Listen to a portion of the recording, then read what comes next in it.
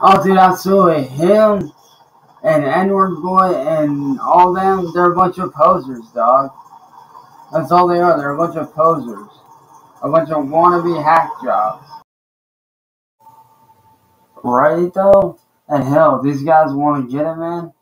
They can catch my ass on fucking COD Warzone.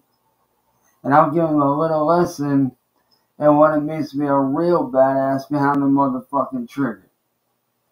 No problem. Especially with the loadout that I run, bro.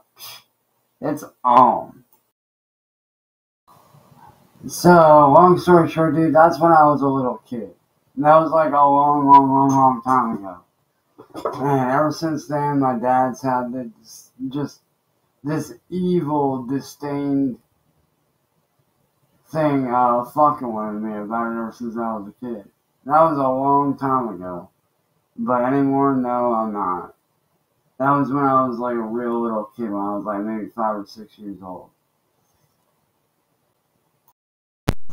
Well, let's see, the trolls are fucking pissed that me and Johnny caught them trying to set me up, and now they've been targeting Johnny, aka Tibbs, and trying to fuck his wife up royally. All because me and him caught them trying to set me up and called them out on it. And they don't like that. So now they're going after him fully. Oh, we already know every single troll. Every last one of them. And trust me, I say they're gonna get dealt with in the proper manner when the time is right. And they aren't gonna like it. Funny thing is, dude, I know what they're trying to do. They're trying to force me back onto YouTube where they can attack me and harass me. They basically don't want me making any kind of money, so they're trying to cut off my access to any other site except YouTube because that's where they want me. That's where they make their money. Therefore, they're trying to do whatever they can to forcibly put me back on that platform. And I'm sorry, I'm I'm not going back to that toxic ass place. Listen, dude, I'm not disrespecting or you know disregarding what you're saying. But honestly, dude, I don't think you understand how good at getting information these guys are. These guys can get information that most people would not have access to. And that's how scary these guys are.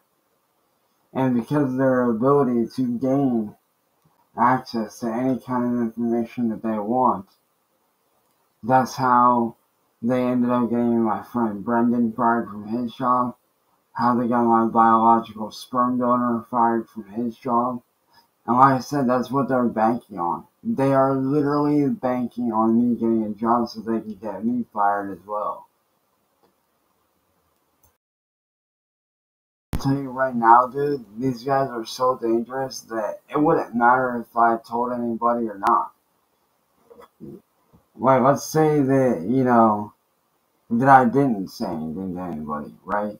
Let's say that I did keep my mouth shut and I didn't tell anybody, right? How long would it be before they got that information? How long would it be before they found out that information? And then once that happens, it's game over, dude. It's all game over once they find that information out. Trust me, they would find out eventually. They definitely would. Like I said, they did it to my sperm donor and my friend Brendan both.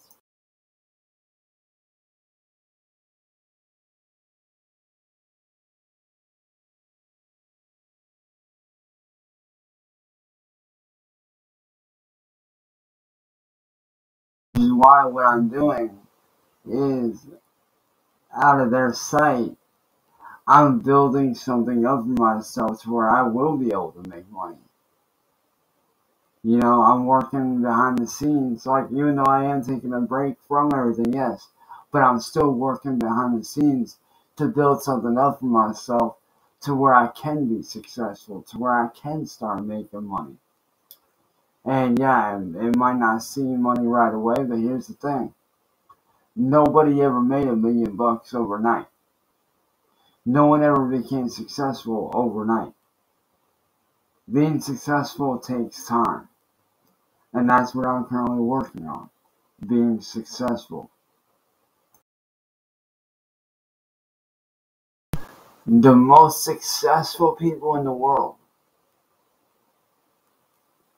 and this is a proven fact, the most successful people in the world, nine times out of ten, didn't have a job, didn't work, came from nothing, came from homelessness in some cases.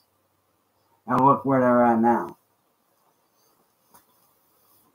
Look where those people are at now, making money, doing what they love.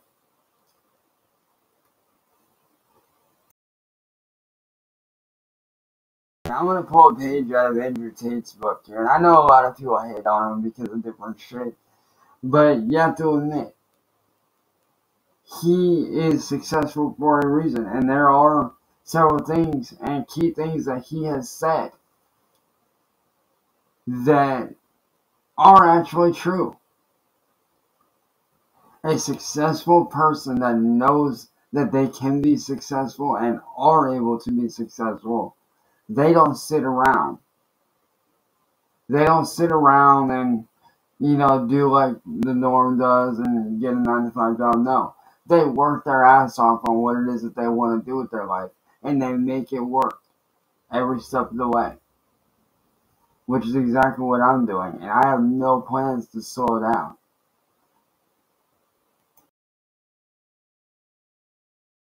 And fuck hundred and hell, fuck hundreds of thousands of dollars. Would you want to work a regular job, or would you want to get out there and bust your ass for your dream? And make your dream successful? And take that dream and run with it. And turn your dream into a reality. Turn your dream into a job. Turn your dream into a career. I don't know about you but that's what i'm doing. I'm out here busting my ass every day working on turning my dreams into a career and i understand that a lot of people say that it'll never happen but here's the difference between me and them I don't know the words quit. The words quitting and giving up are not in my vocabulary, and they never will be.